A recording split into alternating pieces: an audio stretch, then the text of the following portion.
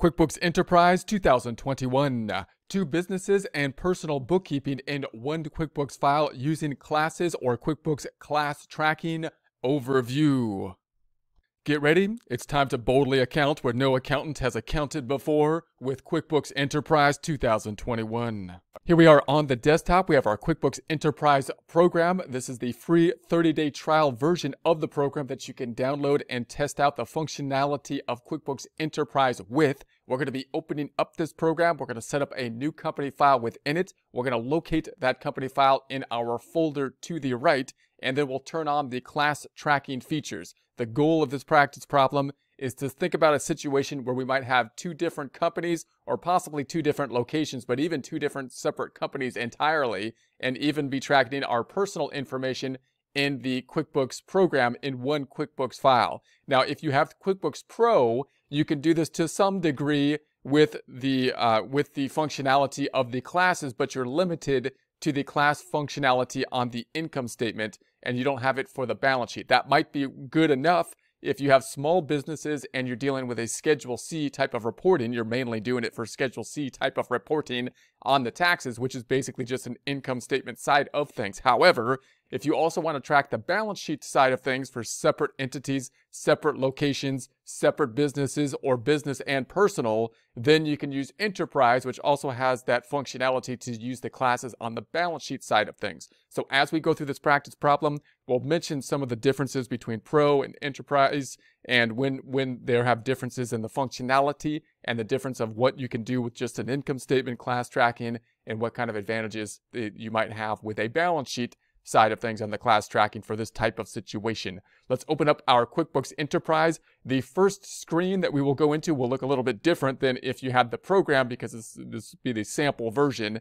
But once we go in from there, it'll look the same as basically uh, QuickBooks Enterprise or QuickBooks Desktop program at that point. So here's the intro screen for the sample file. What we want to do is start a, uh, a new company file. So I'm ready to create my own company file and setting up a new one that we're then going to save on the desktop. Once we save it on the desktop, we'll basically be in the same situation as we would if, using the normal version of the software. I'm going to set it up for somebody else rather than myself because I don't want it to pull in my information that is provided by Intuit. I'd like to just put in practice data into the system. So I'm going to say go ahead and start the company file. I'm going two name it to businesses and personal just to give it a generic name for our company file. The industry that we're going to be working in with, I'm going to choose a kind of a generic industry, but I would like to see a chart of accounts for it. So I'm going to choose the general product based business. The chart of accounts then that will be generated automatically by QuickBooks is on the right. I'm going to say OK. And then the business type, I'm going to go with an S corporation. What we're doing will basically be applicable for different business types. The S corporation will have retained earnings basically in the equity section as opposed to capital or equity accounts. Then we simply need the email address, which I will populate, then move forward. These are the only four required fields given by or represented by or emphasized by the, the asterisks here, the red asterisks.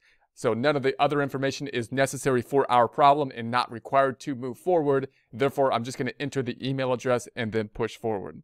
Here we are in the company file. I'm going to close this out now. I'm going to I'm going to maximize the home page. Now we might want to locate where this is at and then move it if we so choose. I'll do that in a little bit here because it didn't QuickBooks didn't often doesn't ask us where the file is going to be placed.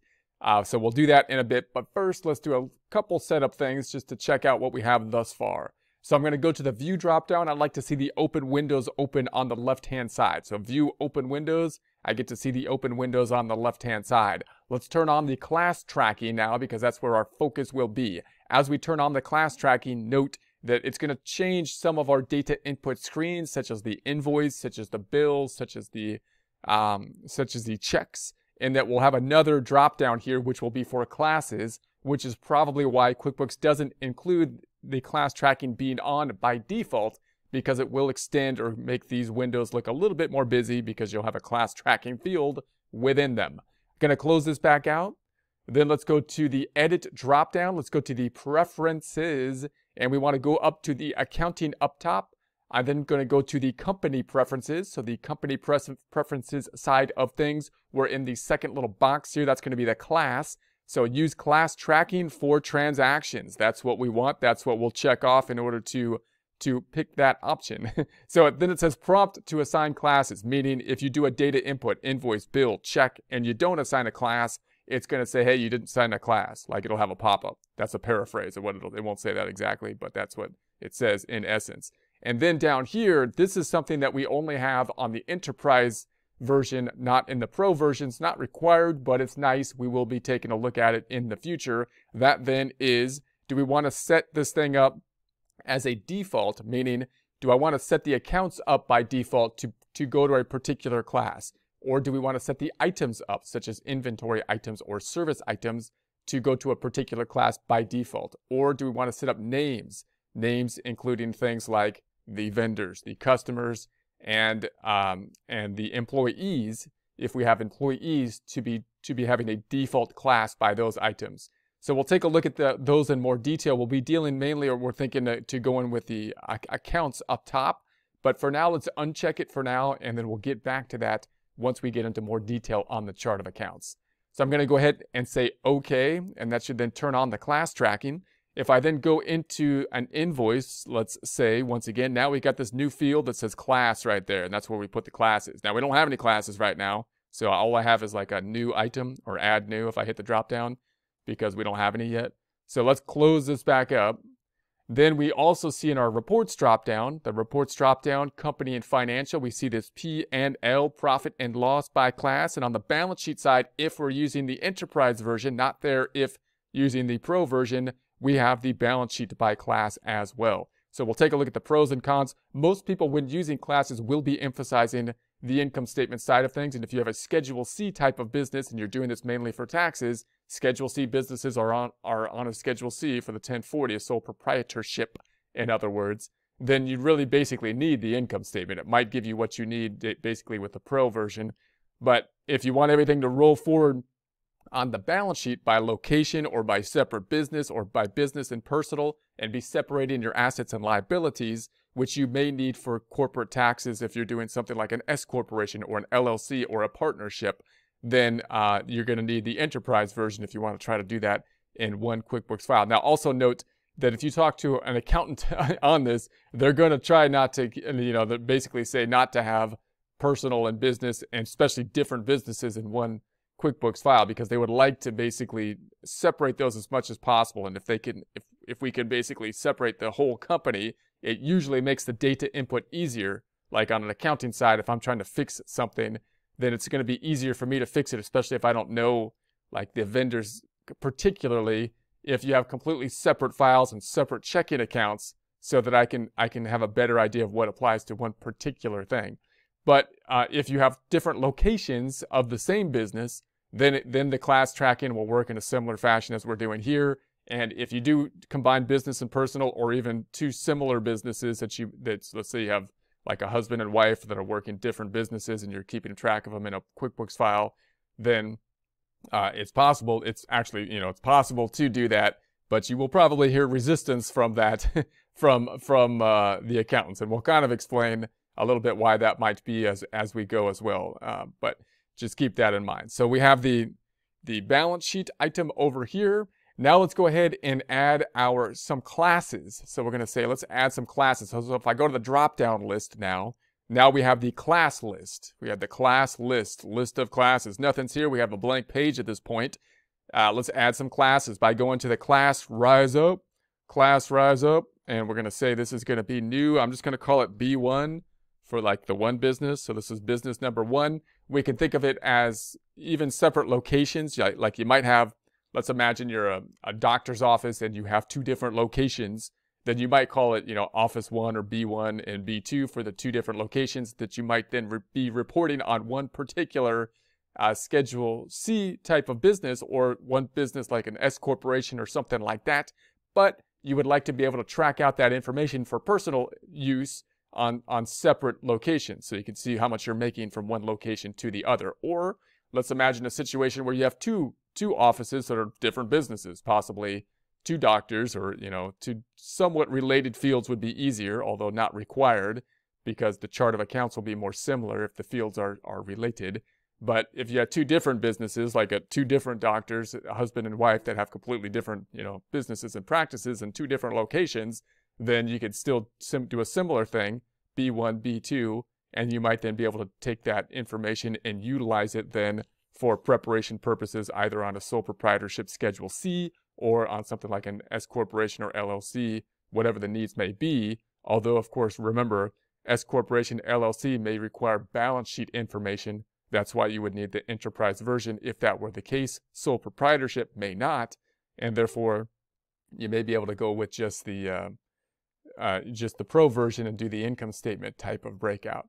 So we're going to start with that. I'm going to say, okay, so there's our first item. Let's do another one, class rise up. New item, this is going to be B2, B2, B1, B2 for business one and business two. That's what those stand for. I'm going to say, okay, and then let's do it one more time. Classes rise up. And we're going to say this is going to be personal, personal, personal. So I'm going to say okay there. So now we have our three classes. And then if I was going to go back to my to my home page now, if I was to enter something like an invoice or a bill or something like that, when I enter an invoice, for example, the invoice typically increase in accounts receivable, the other side going to say sales, some type of revenue account on the income statement.